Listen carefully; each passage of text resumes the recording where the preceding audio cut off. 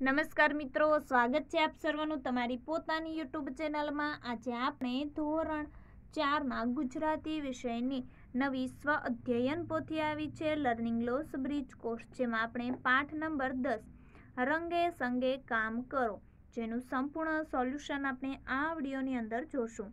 આપણે આ ચેનલ પર ધોરણ ચારના તમામ વિષયના વીડિયો સોલ્યુશનની લિંક તમને નીચે ડિસ્ક્રિપ્શન બોક્સની અંદર આપેલ છે. જો વિદ્યાર્થી મિત્રો, તમે અમારા વોટ્સઅપ ગ્રુપની અંદર જોડાવા ઈચ્છતા હોય, તો અમારા વોટ્સઅપ ગ્રુપની લિંક પણ તમને નીચે ડિસ્ક્રિપ્શન બોક્સની અંદર આપેલ છે. જેમાં તમે જોડાઈ શકશો અને જેમાં તમને તમામ વિષયના સોલ્યુશન પણ મળી રહેશે. ચાલો આપણે જોઈએ સ્વ અધ્યયન પોથીનું સોલ્યુશન અહીં તમને પ્રશ્ન નંબર એક આપેલો છે કે નીચેનો ફકરો વાંચીને પ્રશ્નોના જવાબ તમારા શબ્દોમાં લખો. અહીં ફકરો વાંચી અને પ્રશ્નોના જવાબ લખવાના છે નંબર એક. મામાએ મિત્રની મૂર્તિને બજારમાં લઈ જવા શા માટે આગ્રહ કર્યો? તો જવાબ આવશે કે મૂર્તિ આબેહૂબ બનાવેલી હતી, તેથી મામા તે મૂર્તિને મિત્ર જ સમજતા હતા, તેથી મામા આગ્રહ કરતા હતા. નંબર બે, મૂર્તિ જોઈ ચોર ભાગી ગયા કારણ કે, તો જવાબ આવશે, બારણા પાસે મૂકેલ ચોકીદારની મૂર્તિ એટલી આબેહૂબ હતી કે જાણે સાચે ચોકીદાર બેઠો હોય તેવું લાગતું હતું તેથી. નંબર ત્રણ. મૂર્તિ શેની શેની બની શકે તો મૂર્તિ માટીમાંથી, સોના ચાંદીમાંથી, ધાતુની, પથ્થરની કે પ્લાસ્ટિકમાંથી બનાવી શકાય છે. નંબર ચાર. તમને મૂર્તિ બનાવવાનું કહે તો શેની મૂર્તિ બનાવશો? તો જવાબ આવશે કે મને મૂર્તિ બનાવવાનું કહેવામાં આવે તો હું માટીમાંથી મૂર્તિ બનાવીશ. નંબર પાંચ. મોહન અદ્ભુત અને આબેહૂબ મૂર્તિઓ બનાવતો તો જવાબ આવશે કે મોહન અદ્ભુત અને આબેહૂબ મૂર્તિઓ બનાવતો કારણ કે તે ખૂબ જ કુશળ શિલ્પી હતો. પ્રશ્ન નંબર બે. આપેલા શબ્દોને મોટેથી ધીરેથી ગીત ગાતા હોય તેમ વાંચો. તમને ગમે તેવા નાના અક્ષરે લખો. જોઈએ તેવા શબ્દો. લાલ ચટાક, ફૂલ ચટાક, ચોટી ચટાક, સિંધુ ચટાક, મિચકારી, પિચકારી અદાકારી તરકારી, લસરકા, ગરકા, સબળકા અને ધમળકા. પ્રશ્ન નંબર ત્રણ. ફકરો વાંચો, પ્રશ્નોના જવાબ લખો. અહીં જ ફકરો છે, વાંચી અને પ્રશ્નોના જવાબ લખવાના છે. નંબર એક. લાવરીના બચ્ચા કેમ ચિંતામાં પડ્યા? તો જવાબ આવશે કે બચ્ચાએ રામજીભાઈના પાકની કાપણીની વાત સાંભળી. તેથી લાવરીના બચ્ચા ચિંતામાં પડ્યા. નંબર બે. લાવરીએ બચ્ચાઓને ચિંતા ન કરો એમ કેમ કહ્યું? તો જવાબ આવશે કે લાવરી જાણતી હતી કે રામજીભાઈને બીજા પાસે કામ કરાવવાનું છે. તેથી બે ત્રણ દિવસ તો લાગશે જ. નંબર ત્રણ. લાવરીએ ઘઉંનું ખેતર ક્યારે છોડ્યું, કેમ? તો જ્યારે ખેડૂતે જાતે જ ખેતરમાં કાપણી કરવાની વાત કરી, ત્યારે લાવરીએ વિચાર્યું કે હવે તો ચોક્કસ કાલે જ કાપણી થશે એટલે તેણે ખેતર છોડ્યું. નંબર ચાર. તમને ખેડૂત અને લાવરીની આ વાત ગમી કેમ? તો જવાબ આવશે, હા, ગમી. કેમ કે આમાંથી એ શીખવા મળે છે કે આપણા કામ માટે આપણે બીજા ઉપર આધાર ન રાખવો જોઈએ. નંબર પાંચ. ફકરામાં એક શબ્દ કાપણી આપવામાં આવ્યો છે. આવા બીજા શબ્દો મેળવીને લખો. કાપણી, માપણી, આપણી. લણણી, છાંટણી, ટાંકણી. પ્રશ્ન નંબર ચાર. નીચેનો ફકરો વાંચીને આપેલા પ્રશ્નોના જવાબ લખો. જોઈએ આપણે જવાબ. નંબર એક, ફકરામાં ક્યાં ક્યાં જીવોનો ઉલ્લેખ થયો છે? આ ફકરામાં કીડી, ખિસકોલી, દેડકા વગેરે જેવા જીવોનો ઉલ્લેખ કરવામાં આવ્યો છે. નંબર બે, કીડીને મહેનતુ જીવ કેમ કહી હશે?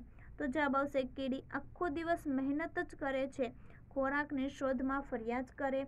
ખોરાક શોધીને દરમાં ભેગો કરે.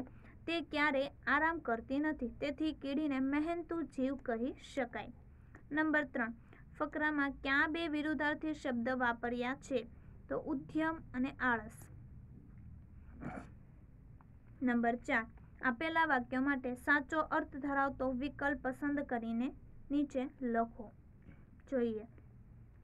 દરેક મનુષ્ય કામ કરે છે એટલે બધા જ માણસો કામ કરે છે, કેટલા માણસો કામ કરે છે. તો સાચું વાક્ય, બધા જ માણસો કામ કરે છે. ત્યાર પછી કીડી જેવો મહેનતુ જીવ બીજો એકેય નહીં હોય. તો કીડી એટલી મહેનતુ નથી કે કીડી બધા જીવોમાં સૌથી વધુ મહેનતુ છે. તો જવાબ આવશે સાચું વાક્ય કે કીડી બધા જીવોમાં સૌથી વધુ મહેનતુ છે. નંબર પાંચ, આ ફકરાનું શીર્ષક તમે શું આપશો? તો આ ફકરાનું શીર્ષક હું મહેનતુ જીવ એવું આપીશ.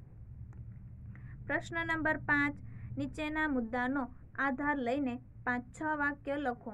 જોઈએ. અમે ખેતીકામ કડિયાકામ સુથારીકામ કામ, સુથારી કામ, મિસ્ત્રી કામ વગેરે કામો વિશે જાણીએ છીએ. તેમાં મને ખેતીકામ ગમે, સાથે સાથે ખેતરમાં વિવિધ કામ કરવાની મજા પડે, ખેતરમાં રમતો રમવી ગમે, ક્યારેક ખેતરમાં સાપ કે વીછી જેવા જીવજંતુઓ નીકળે અને કોઈને કરડે તે વાત મને ન ગમે. ત્યાર પછી પ્રશ્ન નંબર છ. નીચેનો ફકરો વાંચો, તેમાંના ખોટા શબ્દો છે કે નાખો અને ફકરો લખો. જોઈએ આપણે ત્યાં આખો ફકરો.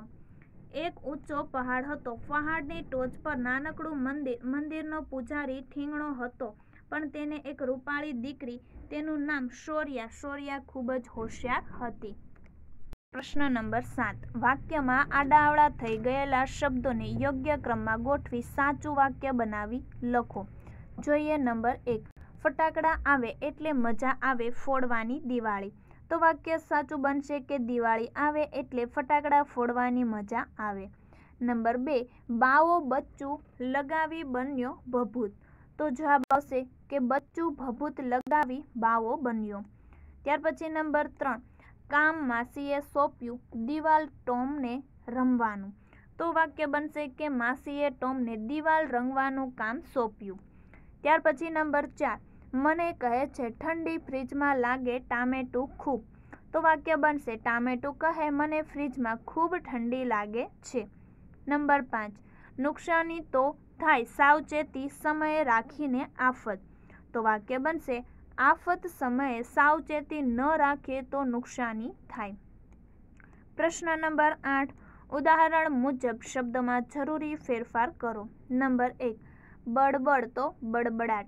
નંબર બે બળબડ તો બળબડાટ. નંબર ત્રણ, ભડભડ તો ભડભડાટ. નંબર ચાર, સડસડાટ તો સડસડ. નંબર પાંચ, બણબણાટ તો બણબણ. નંબર છ બણ બણ બણબણાટ. નંબર સાત, સળવળ સળ, સળવળાટ. નંબર આઠ, ઝળહળાટ. ઝળ ઝળ. પ્રશ્ન નંબર નવ, આપેલા શબ્દોનો ઉપયોગ કરી અર્થપૂર્ણ વાક્ય બનાવો. જોઈએ નંબર એક, ચૂનો દિવાલ. તો રમેશ દિવાલને ચૂનો કરે છે. નંબર બે, સફરજન ટોપલી. ટોપલીમાં સાત સફરજન છે. નંબર ત્રણ, જુવાર ખેતર. ખેતરમાં જુવાર વાવ્યા છે. નંબર ચાર દાંતરડું પછેડી. ખેડૂત દાંતરડું અને પછેડી લઈ ખેતરમાં ગયા. નંબર પાંચ, નદી પાણી. વરસાદ સારો થતાં નદીમાં પાણી આવ્યું. પ્રશ્ન નંબર દસ તમે પોતાના ચહેરા પરનું દુઃખ છુપાવી રાખ્યું છે, ક્યારે ક્યારે? કોઈ પણ બે ઘટના લખો. ઘટના નંબર એક, હા, એક વખત મારું પરિણામ સારું આવ્યું ન હતું, ત્યારે પપ્પાની બીકથી દુઃખને છુપાવી રાખ્યું હતું.